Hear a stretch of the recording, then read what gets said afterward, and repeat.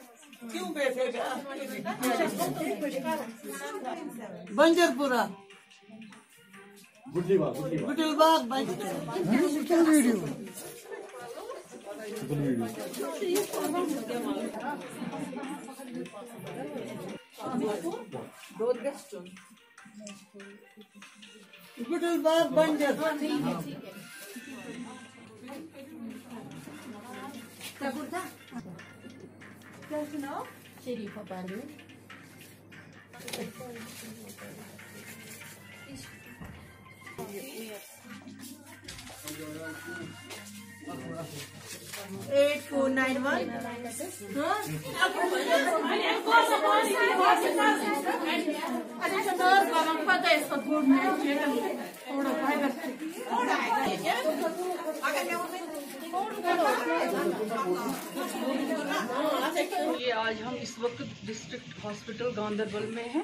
आज हमारे जैसे आपको पता है कि गवर्नमेंट ने जब से ये वैक्सीन लाई है, सबसे पहले इन्होंने फ्रंट लाइन वर्कर्स को इसमें रखा था प्रायोरिटी पे।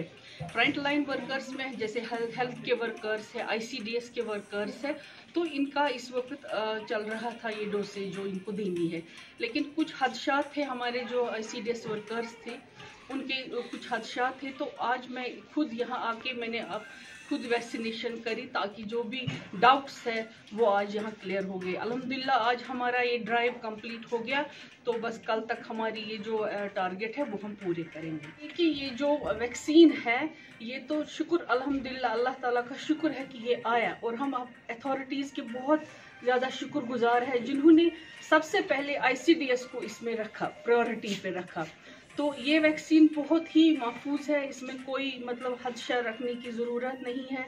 जैसे हमारे बहुत सारे वर्कर्स के दिलों में ये था कि वो उसमें ब्लड प्रेशर का प्रॉब्लम है या शुगर की प्रॉब्लम है।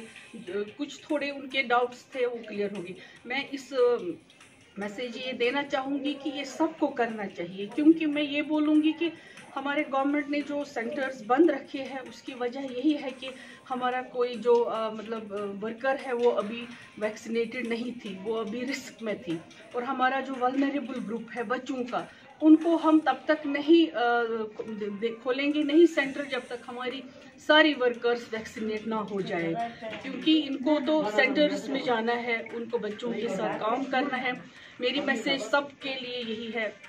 खास तौर पर मेरे अपने आईसीडीएस महकमे को, मेरी वर्कर्स को, मेरी सुपरवाइजर सीडीपीओस को, यही मैसेज है कि हम सब जाए और अपने आप को वैक्सीनेट कराए। क्योंकि कल शायद हम हर एक की ये वैक्सीनेशन स्लिप देखकर ही उनको काम करने